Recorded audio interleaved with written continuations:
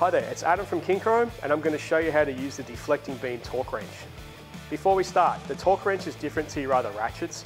It's not a tool to remove fasteners or a tool to be used like a breaker bar. The deflecting beam torque wrench looks like a complicated tool, but it's really easy to use and it pays to understand the tool and what it's used for.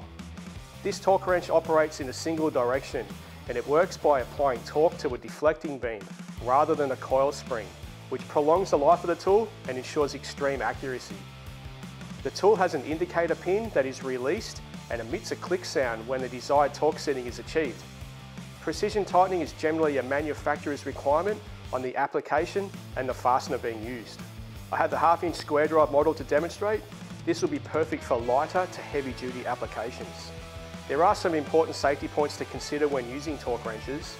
Always ensure that you keep proper footing and balance at all times and do not use the wrench in places where you may fall or slip and wearing gloves can really assist with grip. Let's get into it in these simple steps. Step one, before you start, always make sure that you use the correct size tool for the job.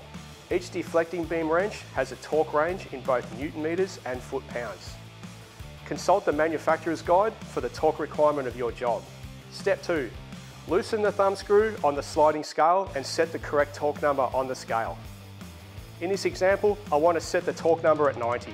I've moved the adjustable wedge until the number 90 is reached.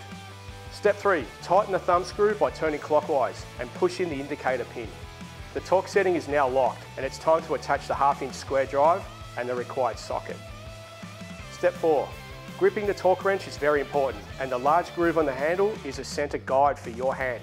Step 5. Slowly and evenly pull the handle till you hear the click and see the indicator pin release from the deflection beam. This indicates that the set torque has been achieved. Never apply more torque to the fastener after the click is heard. Over-torque fasteners and sockets can suddenly break, causing injury. There are several important tips regarding torque wrenches. The tool should be recalibrated every 10,000 cycles or every 12 months by an NATA approved facility. Refer to nata.com.au for more information. If your torque wrench is dropped, knocked or any part replaced, the wrench needs to be tested to ensure the calibration is correct prior to the next use. Always store your torque wrench with the indicator pin pushed in.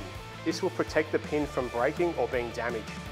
Lastly, you shouldn't have to strain when tightening fasteners. If you are, you're using the wrong tool. Try a larger model. So there you have the deflecting beam torque wrench, a precision tool with classical styling. For more information, please see the Kincrome website.